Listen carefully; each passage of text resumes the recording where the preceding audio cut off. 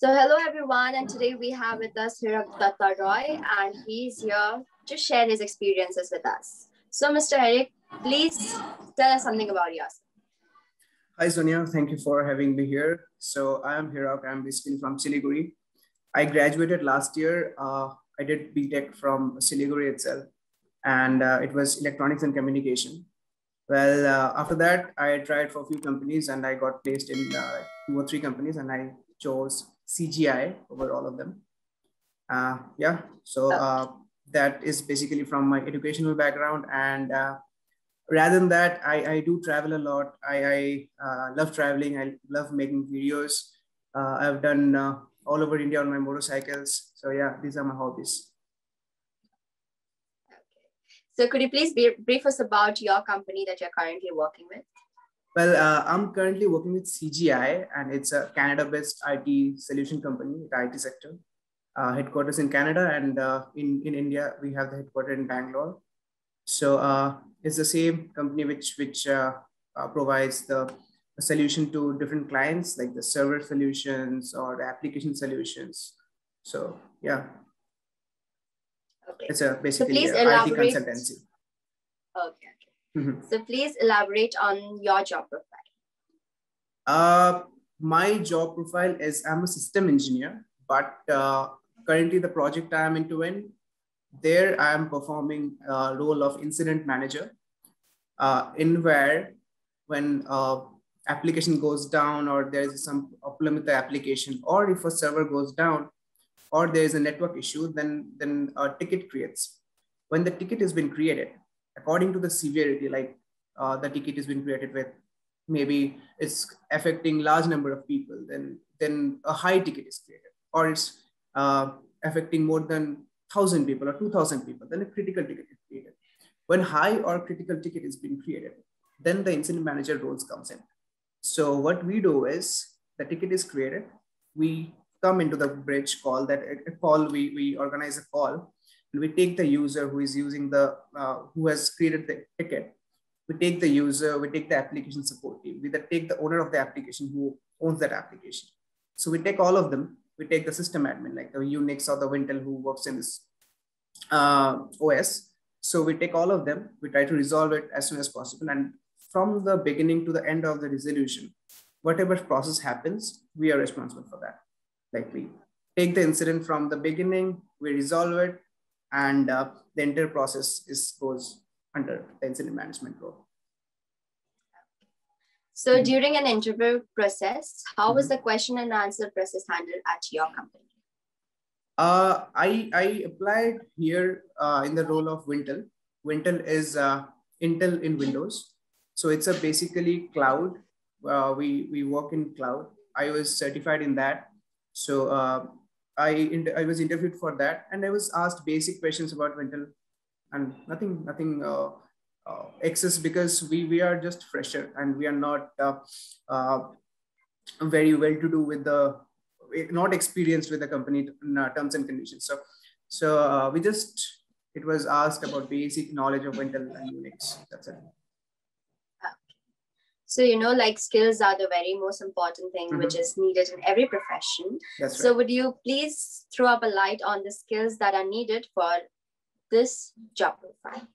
Okay. So, uh, in, in this IT sector field, uh, there's a myth like you, if you want to go, go into the IT sector, then you have to like be good at coding or you have to code well to get a place in a better company.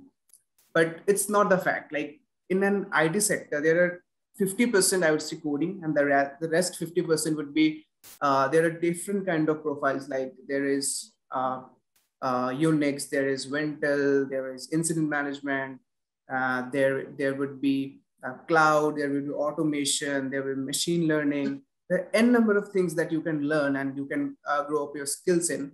So you don't have to code and each and everything. Like coding is one part, and the rest part you can do. If if people like uh, they in, in colleges in general they are not taught that uh, other factors that are coming in today's world so they are just taught in uh, they have to code well, then only they will get placed in this company. But no, that's not the right thing. If you learn well different technologies, there are n number of technologies you can learn.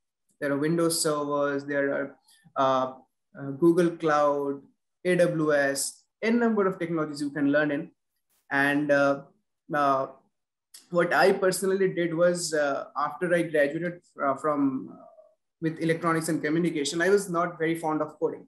So uh, I never chose coding. I never practiced Java or C++ or Python, any such things.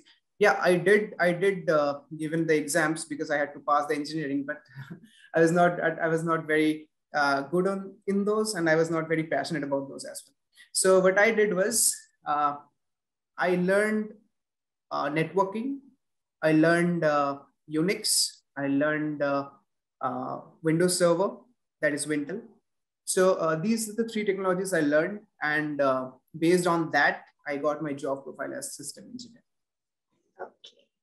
So, you know, what are the resources and the platforms for gaining the skills mm-hmm. that you mentioned? Would you tell well, us something about it? Yeah. Today's generation, the generation we are living in is a digital generation, right? So in this digital generation, everything is free. Like you can learn coding in youtube. You can learn uh, there are n number of platforms that there you can learn your skills. So youtube is a very good platform that you can learn your skills. Well i personally learned 90% of my stuff through youtube. Another there are many blogs or something. I just googled there are many many websites that you can find out. You don't have to take like 40,000, 50,000 or 10,000 rupees course to earn a skill or learn a skill you can do it for free. It's a digital generation today. Yeah. So digital or the social generation, I would say. Yeah. So it's free. You can learn it from everywhere. Okay.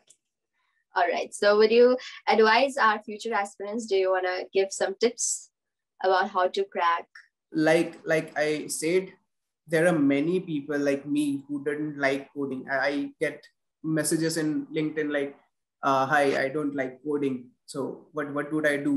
uh, where do I learn coding and how to get in the company because uh, college is saying me like don't uh, mm, you have to learn coding or else you can't you can't do you can get in the company you have to score well but uh, what I say is no coding is just a part there are n number of things just explore new things. Just try finding out new ways. And uh, uh, there are many things like many technologies. I in this nine months of i'm nine months i'm working in this company. In this nine months of time i've learned 12 technologies.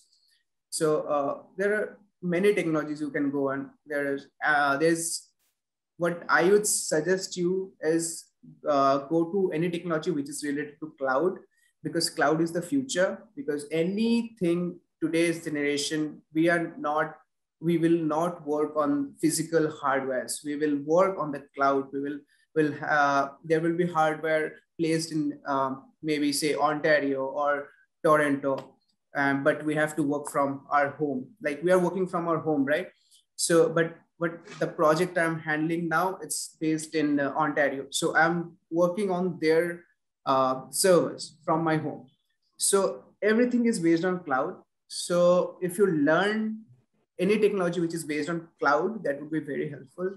I would name some like Google Cloud is there, uh, Microsoft Azure is there, and uh, uh, AWS is there, of course. AWS has a wide, wide customer base. So AWS is Amazon Web Services.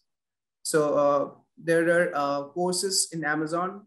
You can learn it for free, but if you want to get certified, then you can you have to pay a certain amount of money in the Amazon or Microsoft official websites. You can get certifications done, and uh, these certifications uh, do do have a lot of value in the market.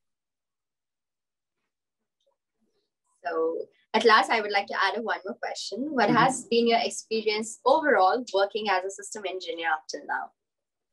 Well, it was very nice. I would say, was first three months, two two and a half months, I, I was learning technologies and then then when i started working on the floor i i directly interacted with the client which is based in canada and uh, my project is is uh, like is the uh, project which it's called bell bell canada bell is the same service provider like we have in in india we have Jio. Bell is in Canada. So Bell is the same company which invented telephone. It's the company of Alexander Graham Bell. So uh, I'm working for them. So I'm directly working with the client. I interact with the client. I, I learn a lot of things. I've learned a lot of things in these nine months. In the total four years of my engineering career, I didn't, I didn't, I didn't learn this much. What I've learned in this nine nine months of my uh, CGI experience. So uh, yeah, once you are into the company, once you are into the field, then you know what what exactly you like. You can explore new things. If you don't like one thing, you can always jump into the another thing. Technology is evolving. Uh, everything is evolving. IT sectors is evolving. Our lives are evolving. So you have to adapt new new experiences, new things, and you have to grow. You can't just stick to one particular thing and uh, and be. I will. I will. Um, uh, I will take my entire career in, in this particular Java or say Python, but you can't do that. If you want to grow up, you have to take up new skills and that's it. All right. So thank you so much for your time and efforts. And thank you so much for sharing your experiences with us. It was amazing having you out here. So would you like to say something? Yes, Sonia, thank you so much for having me as well. And uh, it was a good interaction. Thank you. And uh, I saw some of the videos of your channel. It was really good. Positive. Thank you so much.